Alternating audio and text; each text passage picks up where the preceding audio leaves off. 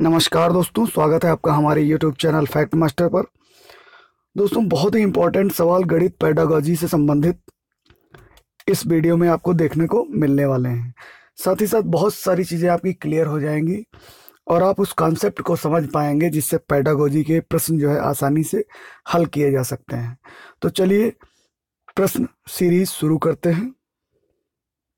उससे पहले इस चैनल में पहली बार आप आए हैं तो चैनल को सब्सक्राइब करना बिल्कुल ना भूलिएगा। साथ ही साथ जिन प्रश्नों के उत्तर आपको आते हैं, उनको आप कमेंट बॉक्स में बताते हुए चलेंगे। तो चलिए शुरू करते हैं। तो दोस्तों, पहला प्रश्न आपकी स्क्रीन पे है।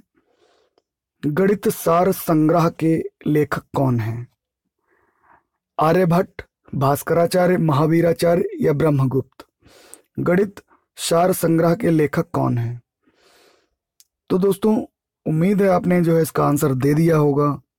तो इसके जो गणित सार संग्रह के जो लेखक हैं, वो हैं महावीराचार्य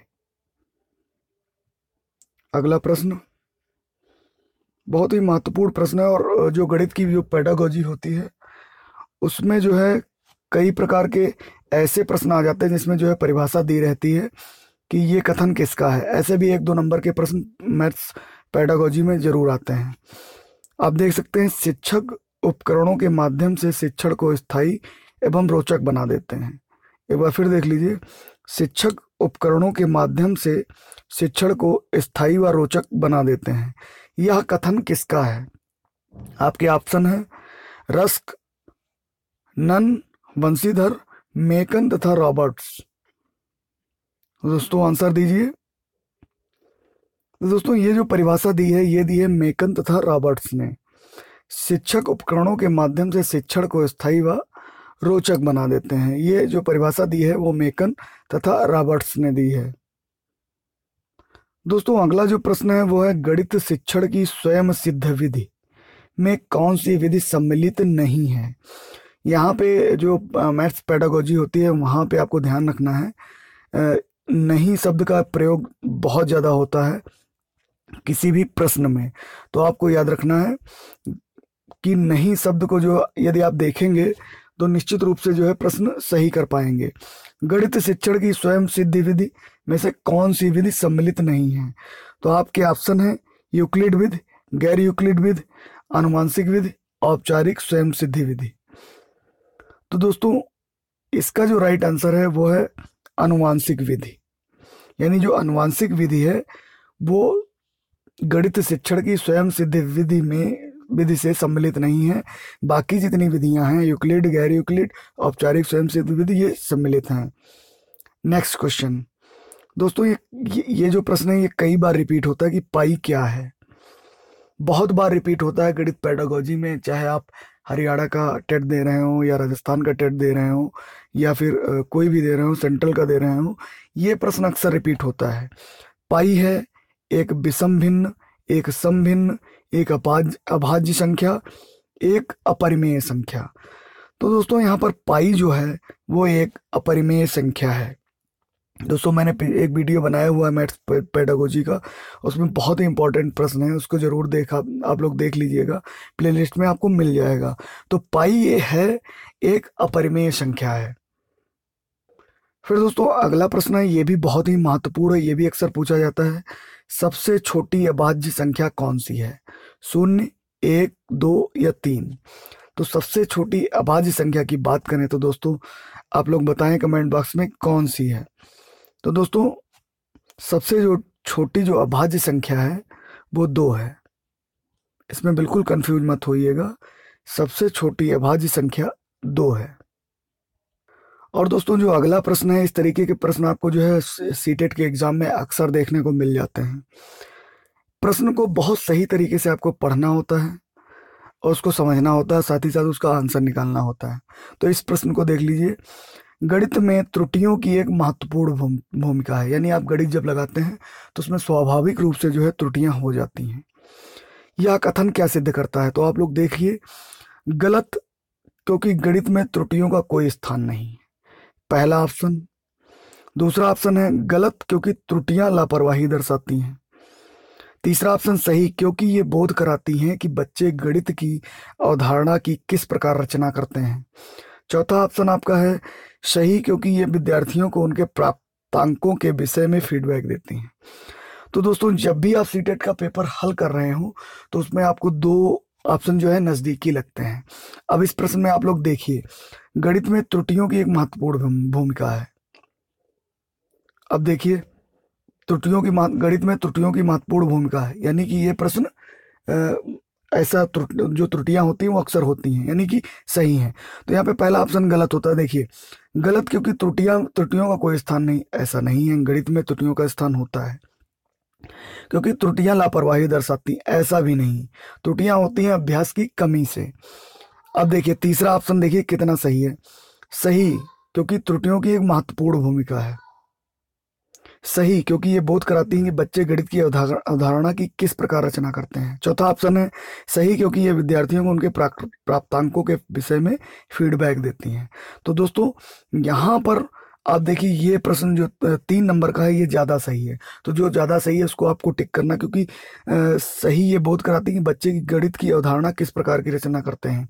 तो दोस्तों, नंबर तीन यहाँ पे सही है, क्योंकि त्रुटियाँ जो हैं, वो जैसे जैसे अभ्यास बढ़ता जाता है, वैसे त्रुटियों की संभावना कम होती जाती है। चलिए अगले प्रश्न की तरफ़ चलते हैं।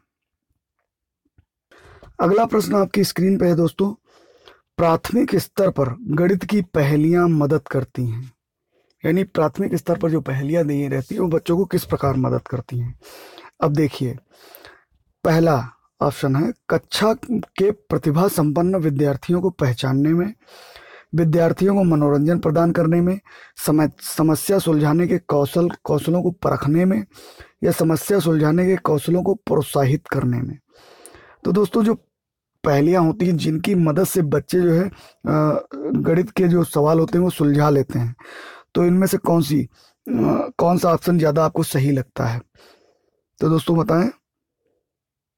तो दोस्तों, इसका ऑप्शन सही होता है, ऑप्शन नंबर फोर। समस्या सुलझाने के जो कौशल होते हैं, उनको प्रोत्साहित करने में पहलियाँ मदद करती हैं। तो सबसे सटीक आंसर जो है, आंसर नंबर फोर है। अगला प्रश्न आपकी स्क्रीन पे है। गणितीय संचारण उल्लेख करता है। गणितीय संचारण उल्लेख करता है। ऑप्शन वन, गणितीय विचारों को समाहित और संगठित करने की क्षमता। नंबर दो, समस्याओं को सुलझाने की क्षमता। नंबर तीन, गणित प्रश्नोत्तरी में भाग लेने का कौशल, गणित के कक्षा कक्ष में बोलने की क्षमता। यानी कि गणितीय जो संचारण है, वो किस प्रकार से होता है, आपको बताना है।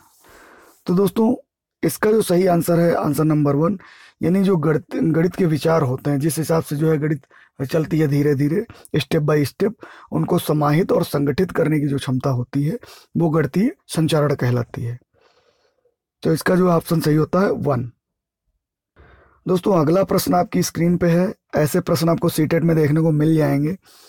प्राथमिक स्तर पर गणित की पाठ्य पुस्तकों की सबसे अधिक महत्वपूर्ण विशेषता निम्नलिखित में से कौन सी है?